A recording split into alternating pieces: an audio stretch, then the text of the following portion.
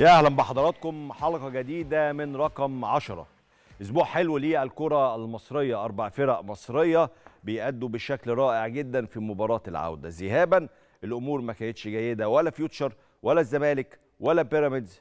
أما الأهلي كان قدر يكسب ذهابا وايابا بنتيجة كبيرة مجموع المباراتين 7-0 عشان المباراتين كمان كانوا في مصر. الأسبوع اللي قبل اللي فات كان أسبوع سيء. الأسبوع اللي فات أسبوع مبهر للكرة المصرية. أسبوع طبيعي يعني. المفروض يبقى طبيعي. الزمالك لما يقدر يعود ويفوز 4-1 قدام منافس ضعيف منطقي.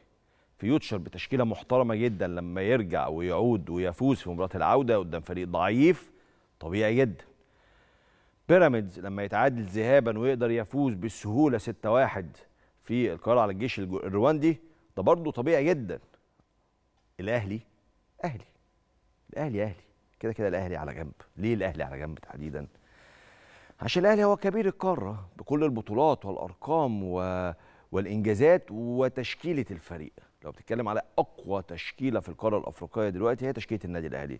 لو بتتكلم على أعلى قيمة تسويقية في أفريقيا دلوقتي هي تشكيلة النادي الأهلي. فالأهلي الأهلي في حتة لوحده أكيد في حتة لوحده.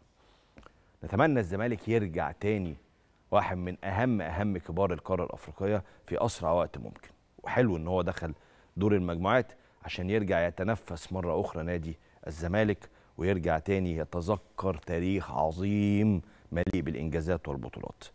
بيراميدز بقى متمرس في البطولات الأفريقية وإن كان هذه المرة هي بطولة جديدة عليه بطولة دوري أبطال أفريقيا.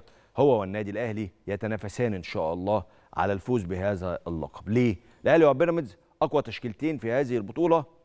فرقتين كبار جدا.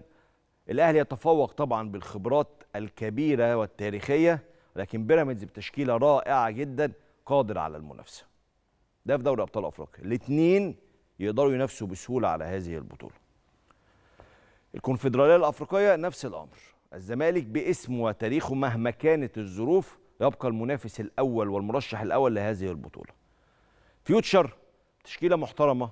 واستقرار بقاله موسمين بشكل رائع جدا والفريق يتحسن رويدا رويدا وبدأ يثبت أقدامه في الكرة المصرية يخلينا نطمن برضه إنه يقدر ينافس على هذه البطولة.